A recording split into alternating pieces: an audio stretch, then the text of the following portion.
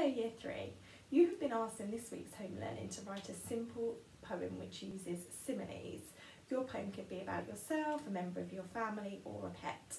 I'm going to show you today how I would approach this task and I'm going to be writing my similes poem all about my cat Joey.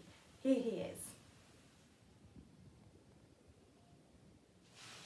When working today it would be helpful if you had a copy of the similes word mat in front of you so that you could refer to that and then also the sheet with the sentence starters on. Both of those are going to be helpful for you today. Now as I said I'm going to be starting my poem all about my cat Joey and I've had a think and some of the things I know about him is he's extremely fast and he's also extremely lazy. Now I've said he is fast so I'm going to begin my first sentence with as quick as. What could he be as quick as?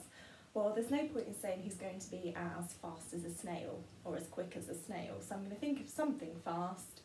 Um, you might know some famous similes that you can already think of. So I'm going to start with as fast as lightning. Lightning happens really quickly, one flash and it's gone. So that's what I'm going to start with today.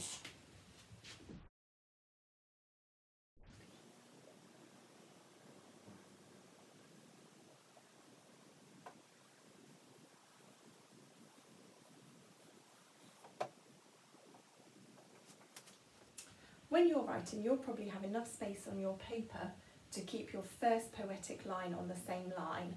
I haven't, so I've moved on to the next line and just put a comma at the end. I will start my next poetic line on a new line.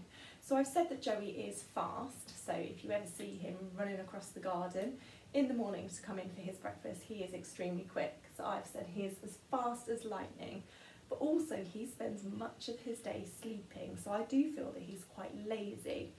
So the next thing that I'm going to write about him is he is as lazy as or as sleepy as a sloth.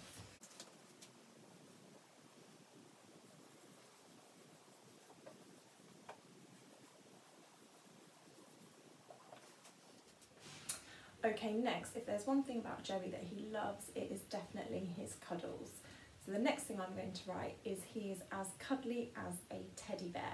It's a new poetic line, so I'm going to make sure to start it with a capital letter on a new line.